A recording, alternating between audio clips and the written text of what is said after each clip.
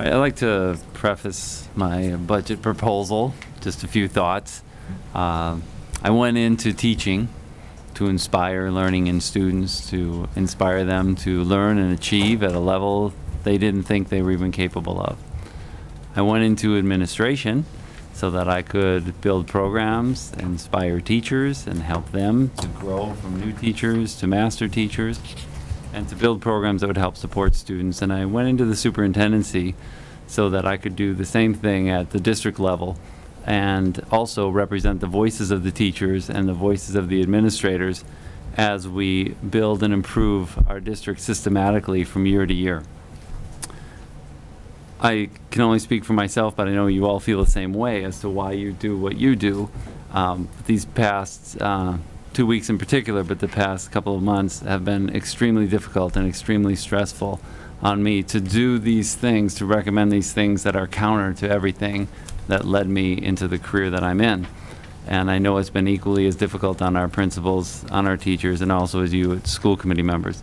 So absolutely nobody looks forward to a budget cut and is proud to present uh, a budget like this with so many cuts and reductions.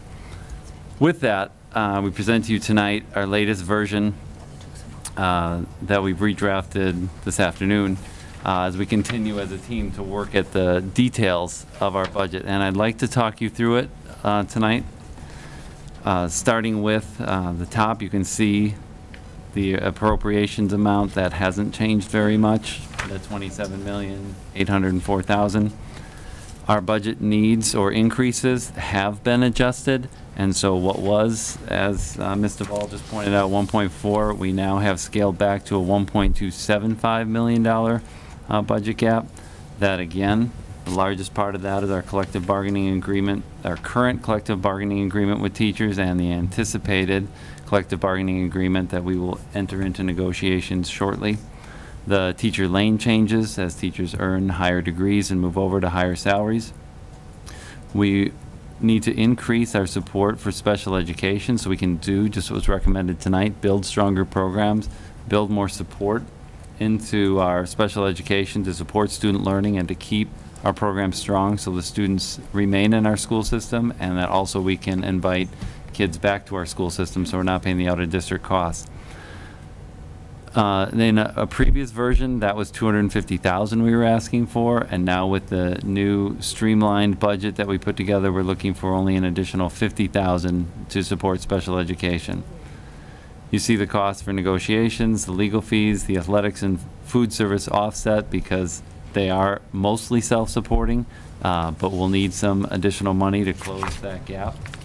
Uh, though I have this $5,000 on here for the AP biology books, which the high school doesn't have the textbook uh, funds uh, to purchase, I have heard uh, that there is a private donor who may be offering to purchase those books for us, and I've invited that person to come and, and meet with me, but we haven't uh, connected yet.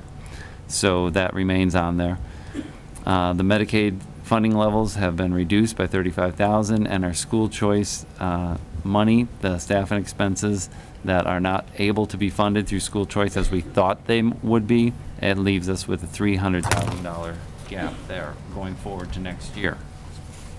So how do I propose? Uh, better, how do we propose? This is a team effort done with our administrative leadership team, who I know they work with their school councils and their faculty, um, and then with uh, Mr. McLaughlin and myself.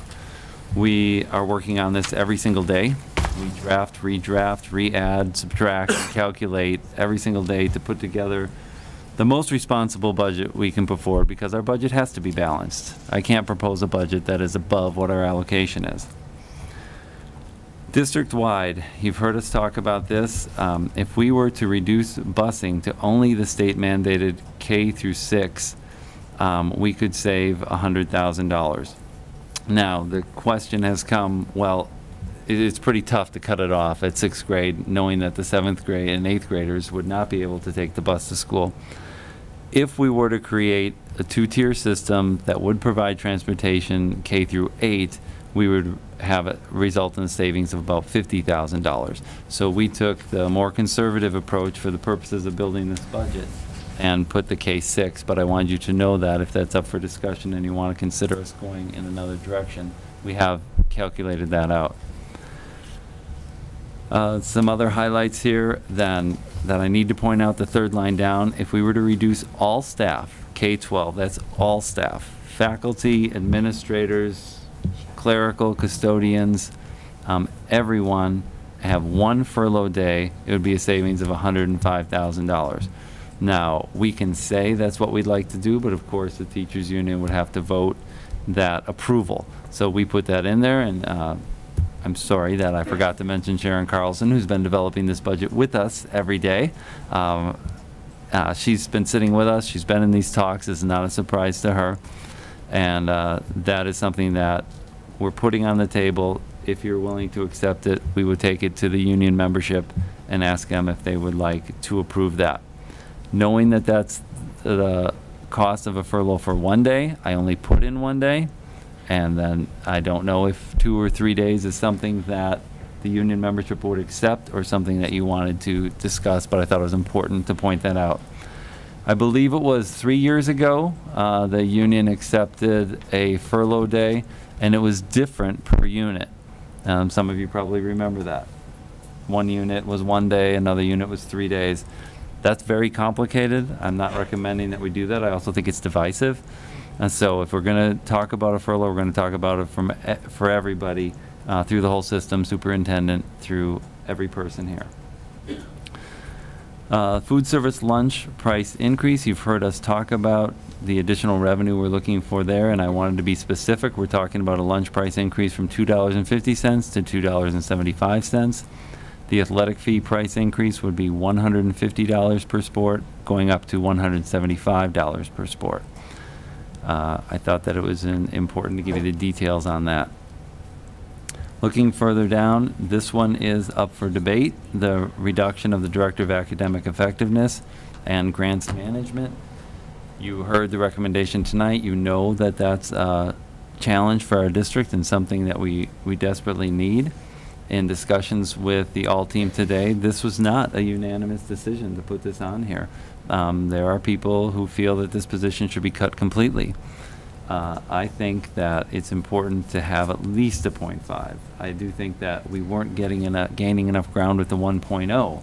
And so I'd really like us to have a full-time, but in an effort to meet a responsible budget, I put a .5 position there. Uh, For, that would be curriculum leadership, working with the new teacher mentor program and managing the grants. Uh, We talked about custodial positions, and this one too is controversial, like everything on this list. If we were to close the JFK building on weekends, that is a .5 custodial position. That is a huge impact for those of you who have ever been to JFK on a weekend. There are hundreds, if not thousands, of people here on a Saturday and a Sunday. Um, Throughout the, throughout the seasons, in the winter, in the summer, there's more, of course, with the soccer and the tennis going on. Um, But that's not our classroom, and that's not our school day, and that's where we were making our value decisions on what is best for our students in the classroom. So could I just ask you, with that, how would that, um, is that something you've coordinated with the recreation department about, or? Um, I won't say coordinated, we've informed them, and they're not excited about that. And I don't blame them. Yeah, It's a well, big it's- part of their program. It certainly will have an effect on their uh, programming and It does revenue. mean that the pool would be closed on the weekend then. Mhm. Yes, Okay. yeah, because we have to pay a custodian um, to be here to keep the building open. Have they offered to pay a custodian? I Um, mean, did not they at this suggest that point, at all? Not at this point, Okay. no. And in addition to that, uh, we were looking at one full position in the custodial department, and so in addition to that, there'd be another .5, uh, which, if you look at district-wide, the lowest um, custodian with seniority, lowest seniority custodian would be the one that would have the .5 reduction, and as it happens, that would be uh, out at Ryan Road. So that's mentioned down here under Ryan Road, but we put a zero there um, because the cost was figured up here, but we wanted you to see the impact would be down there. That's the district-wide total, $344,000 of reductions.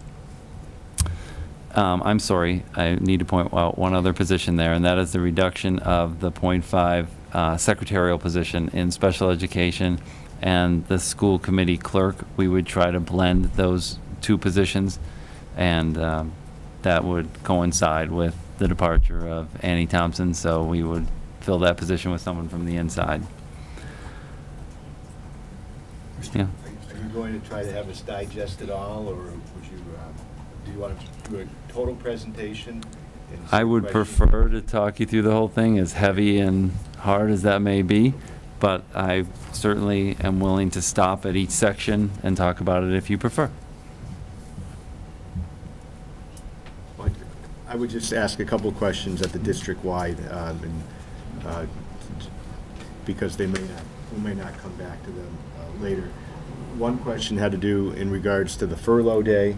Um, That day would come off of a, um, a professional development day, a non-contact day with students, That's a correct? great question, right. We have 180 school days, and our calendar has 185 days in it. Five days are for preparation and professional development. So we would take one of those extra five away. I think that's important that the Yeah. community knows that if we were going to uh, Yeah. entertain something like that, it wouldn't impact student learning and contact days Right. with, with students. The, the other thing I wanted to uh, just ask in regards to the athletic fee price increase from the 150 to 175, we currently have a uh, staggered price for, um, for athletic fees, and so we're moving the, the full paying student from 150 to 170. Would the tiers move up a little bit as well?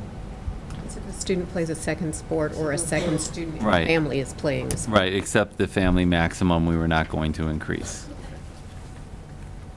Yep. Thank you. Good questions, yeah. A question um, regarding the budget needs or increases. Is there, um, are all these numbers fairly firm? Are any of them ones that have any room for, I don't know what, Wiggle. adjustment? Or are they all just pretty much like what we have to Uh, I- As much as we've been through this at this point, these are pretty firm. I mean, Yeah. like the one that sort of jumped out of me was the legal negotiations, Mm. seventy-five thousand, that's a lot Mm. of money.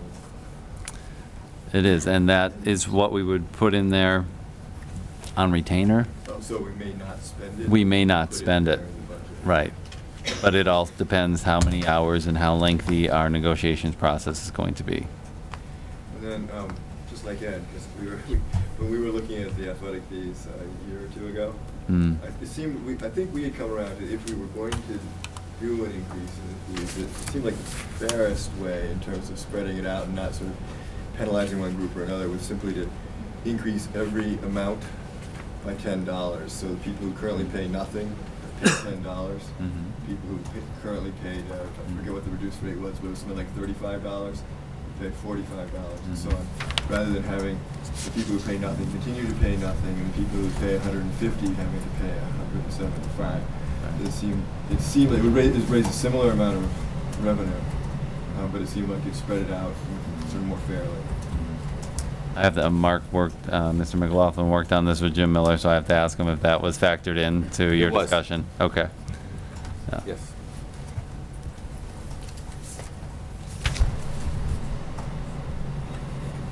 Okay.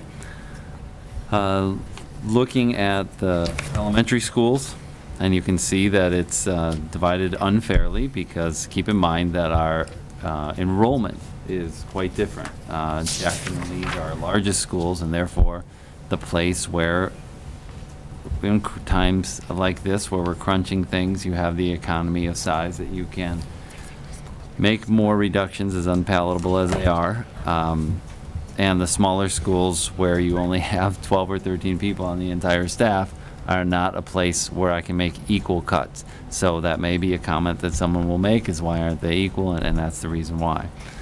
Uh, Jackson Street, we are talking about the elimination of one full-time fourth grade teacher and reducing one of the third grade teachers to a point five. Uh, We want to increase in special education, the ASD program, and the alternative learning program teacher. Again, we want to do that, and you'll see that throughout where we're, where we're increasing, we're trying to strengthen our special education programs, which have an overall savings. So though it's spending a little money now, it has uh, a direct impact on our savings and out-of-district and um, consulting costs. Um, The occupational therapist at Jackson Street, that's what the COTA is, that's uh, one elimination, and then increase um, an FT to the occupational therapist uh, to .8, and that offsets the services uh, for occupational therapy. Also, we would be eliminating the ETL, the team leader, the elementary team leader in special education at point six, and that's being eliminated across all of the elementary schools and the central office. Um, director of special education as well as the um, supervisor of special education will be working with the teacher leaders in the schools to pick up those responsibilities. The Jackson Street total, as you can see there, is $98,900.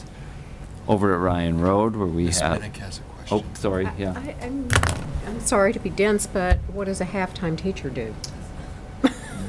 When you, you said you were reducing the third grade to point five. Gwen's still here? Gwen, would you like to respond to that? I'm sure there's a good answer, but. There is it- a good it- But it, it doesn't. Gwen's better at the answer. But on though. paper, it seems a little odd. Yeah, we won't have one section of third grade being half a day. Okay. So, In order to accomplish what I was asked to cut, I collapsed two grades, the kids that are going into fourth grade and the kids are going into fifth grade.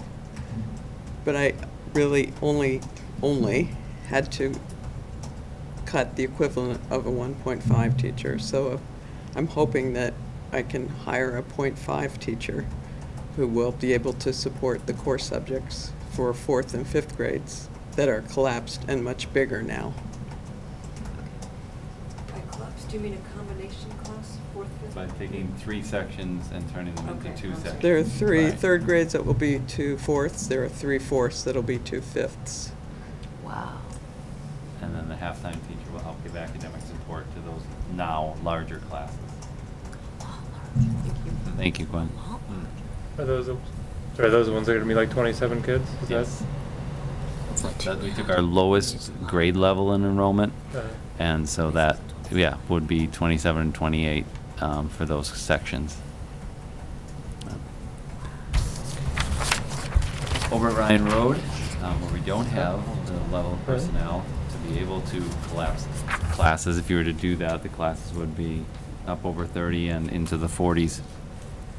Um, So the, the sacrifices they can make is reduce professional conferences, therefore you reduce the substitutes needed for professional conferences, um, reduce a PE teacher from full-time to .8, reduce the clerical overtime, eliminate the .5 special education team leader, as I mentioned, and this is where the impact of the custodian would be, and Ryan Road would have a reduction of $45,200. Over at Leeds School, um, we would eliminate the full-time library media position. We would eliminate one full-time fourth grade teacher, again, by taking three sections and combining them to make two. We would eliminate uh, special education teacher uh, in the DEP program. We would eliminate the .5 ETL. We reduce speech and language, um, I'm sorry, the psychologist.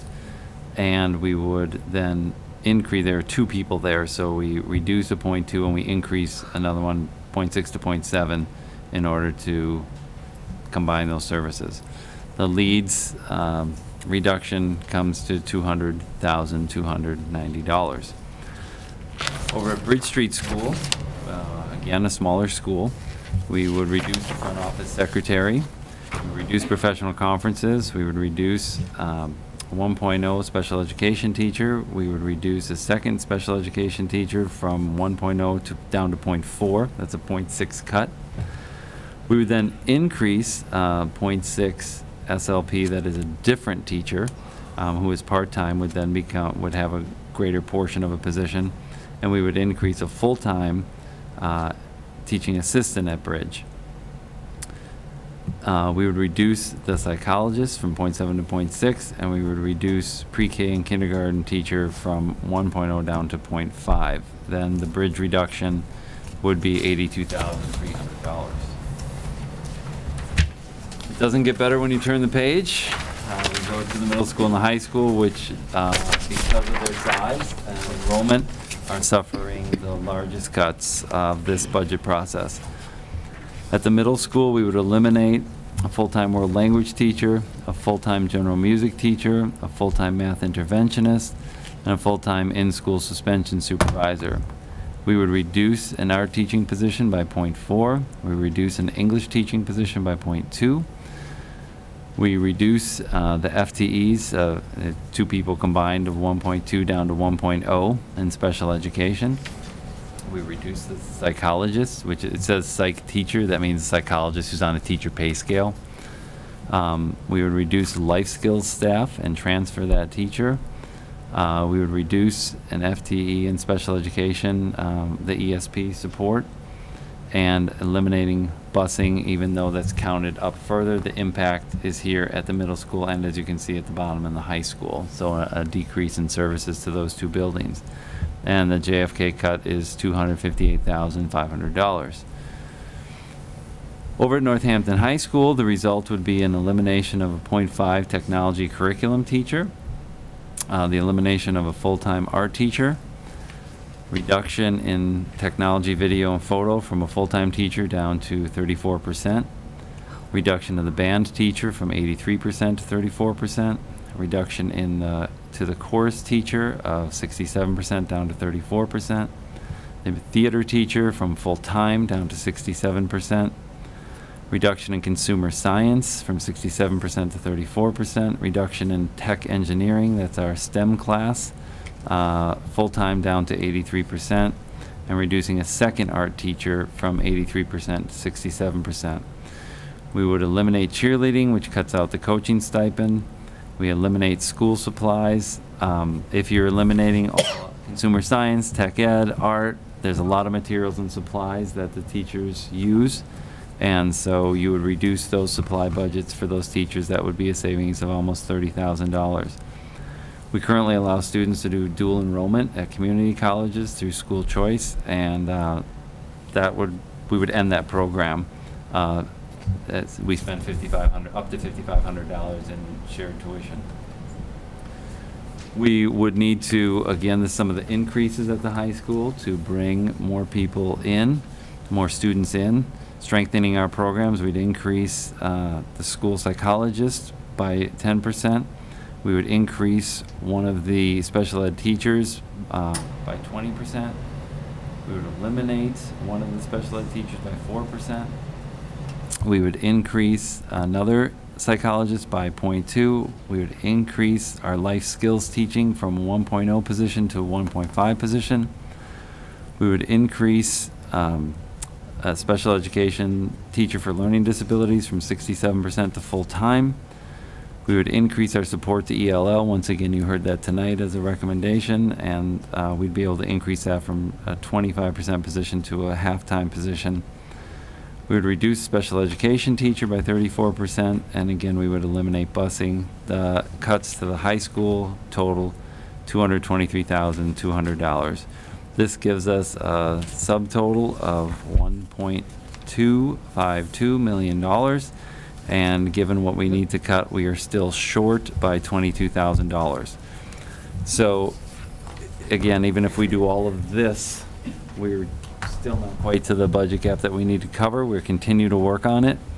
And I want, you know, as we've said in the paper, it's the financial equivalent of about 27, thou- 27 uh, full-time teaching positions. The actual teaching positions, if you add up all these percentages, um, would be 23.5 teaching positions.